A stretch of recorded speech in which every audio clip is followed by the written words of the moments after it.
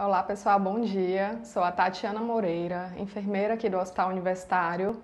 Coordeno atualmente o programa de residência multiprofissional em assistência em diabetes. Hoje vou falar para vocês um pouco sobre as ações de enfrentamento que o nosso programa de residência vem realizando em relação à pandemia da Covid-19. Então, uma das opções de enfrentamento que nós precisamos nos adaptar em relação a esse processo assistencial em diabetes foi a questão dos atendimentos ambulatoriais. Para que os nossos pacientes eles não fiquem sem atendimento, uma das formas que nós pensamos para fazer essa assistência foi a telesaúde.